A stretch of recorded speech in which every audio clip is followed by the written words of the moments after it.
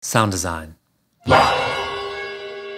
All right, so how loud does the test signal need to be in the room for Smaart? Well, there's two main things that I want you to keep in mind. At minimum, it needs to be above the noise floor, but if you want to get maximum coherence and really high quality data, you should try to be 20 dB above the noise floor. All right, so let's look at both of those options. So the first thing I need to do is just measure the noise floor. So here I am in Smaart in the spectrum view. So what I'm gonna do is set this averaging a little bit higher, and then I'm gonna stop talking uh, and save a trace.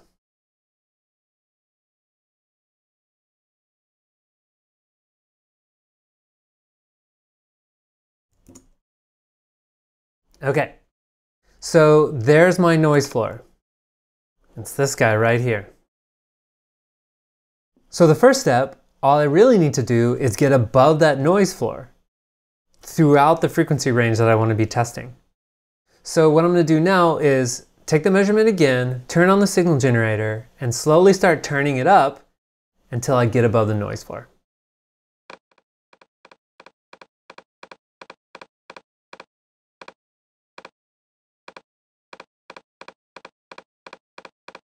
All right, I'm gonna stop here for a second because I just want you to see that in the high frequencies, I'm already totally above the noise floor. So I'm gonna stop talking for a second just so you can see this. Um, and the reason I want you to know this is that it's super low in the room right now, okay? So I could be doing plenty of useful work in the room and people wouldn't even know that I'm taking measurements. They might just think, oh, the uh, background noise is a little bit louder in here today, or they might not even notice.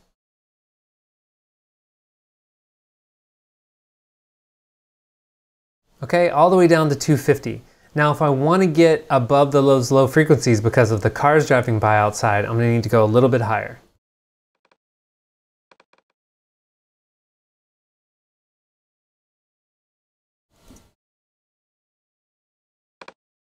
Cool, so I'm going to call that my first level, and that's at minus 20 dB here on my signal generator. So let me write that down. Minus 20 dB.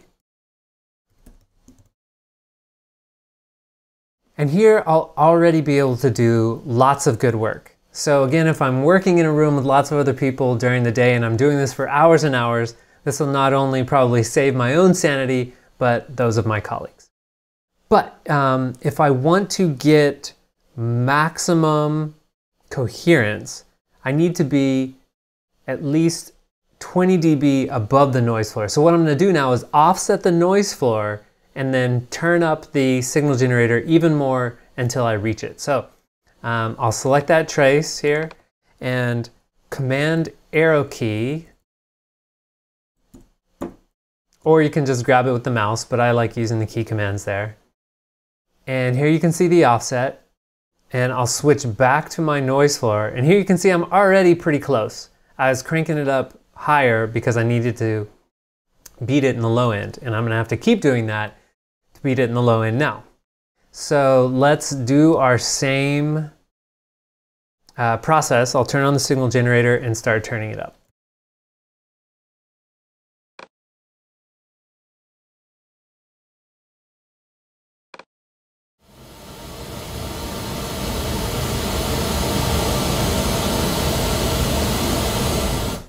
Okay, so this is as loud as I can get just with my signal generator controls here from Smaart. Now, if I want to get it even louder in the room, I can head over to my mix console and I can do that. And I have the ability to do that if I need to.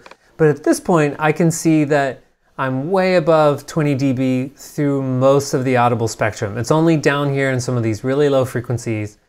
And I'll have, I have a trick to help you do that um, without playing signal really loud in the room like say if you're just working on your subs or you're working on matching mains to subs or something like that.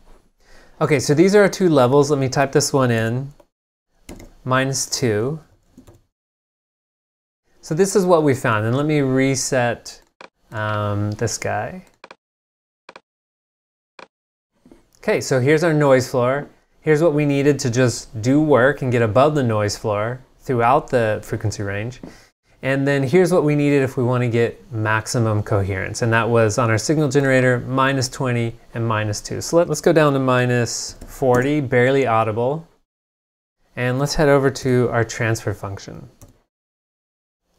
So I'm going to take a measurement and you'll see that the coherence is pretty low and I'm going to bring it up to uh, minus 20.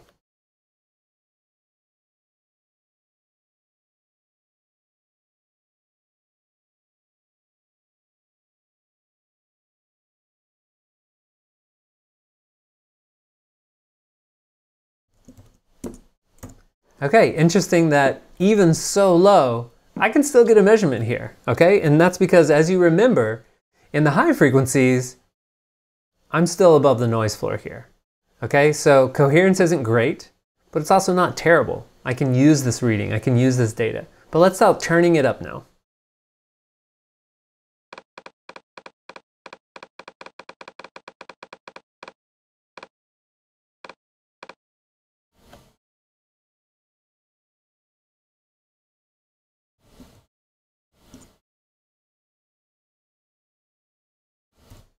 Okay, so now if I switch back and forth between, here's my negative 20 my negative 40, now you can see the difference in coherence. Okay, pretty big difference. Really high coherence, like everything up above 95.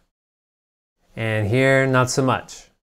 Sometimes down into the 80s, 60s, mostly 80s to 90s. Okay, so this really helps. So it's just good to know um, where you need to be. But again, it's pr still pretty quiet in the room here. Okay, but now let's start bringing it up to see if we can get maximum coherence. So at this point, you'll see that this coherence up here in the high frequency isn't going to change that much. It may get a little bit better, but it's really down here in the very low end where we'll, we will start to see some improvements.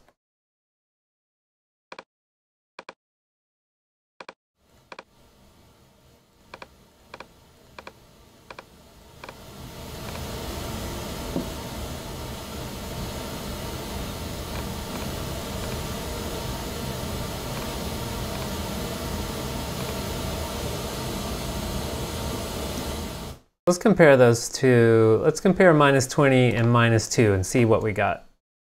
Minus 20, minus 2.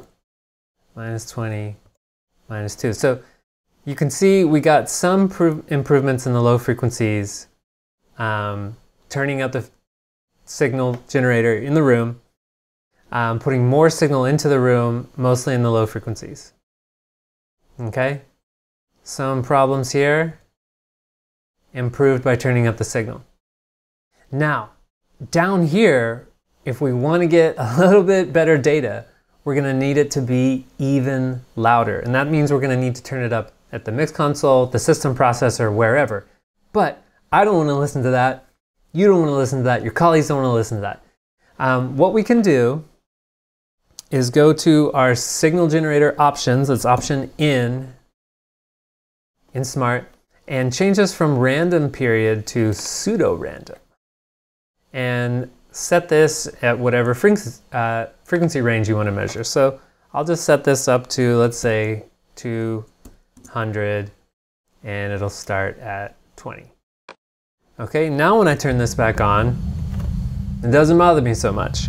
And now we can even zoom into the low end. Now we're just looking at, um, you know, from 30 hertz to uh, 200 hertz. And now we can see if any uh, improvements in the coherence can be made by turning up the signal in the room. So just as a quick test, let's turn this down. Okay, we pretty quickly, our coherence kind of falls apart in this area, especially when I talk. Now as I turn it up, we can watch it improve.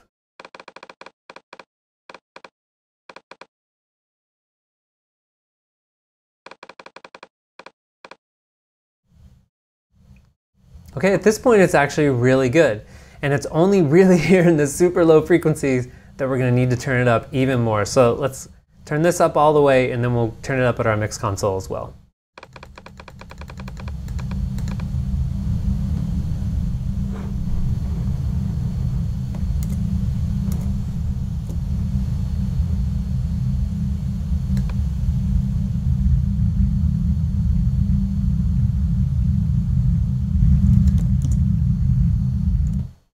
There we go. So you can see that with an extra 10 dB here at the mix console and my signal generator turned pretty much all the way up, I could get some more coherence here in the low end. Okay, and that might be what you need to do if you really need to measure 34 hertz. Um, but you can do it without killing yourself by, um, again, turning on the pseudo random noise here. Just make sure you don't forget to undo it, otherwise later you might turn it on um, and wonder what happened. But then when I get done, I'll always set this back to 12, minus 12 dB. Okay, so just to wrap up here, how loud does the signal need to be in the room for Smaart? Um, at minimum, you just need to be above the noise floor. But if you really want maximum coherence, you need to be 20 dB above the noise floor.